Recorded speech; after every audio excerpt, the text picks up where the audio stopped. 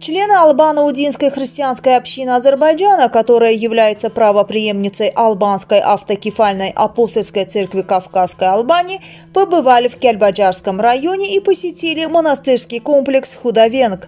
Наследники Албанской церкви совершили ритуалы, прочитали молитвы, помолились Богу и зажгли свечи.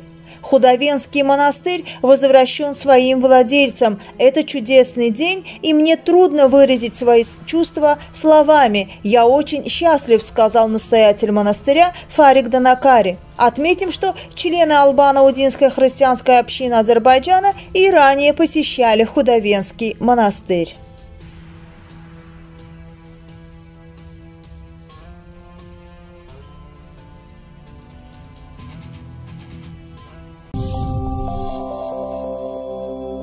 Dağların ətirli çiçəklərinin təravətini özündə cəmləyən təbii arı balını sizə təklif edirik.